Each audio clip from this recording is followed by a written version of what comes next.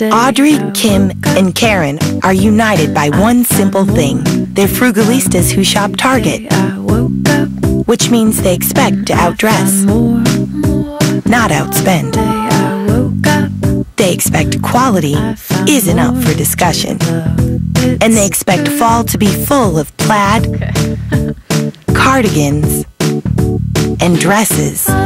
So they shop Target, where frugalistas expect more and pay less.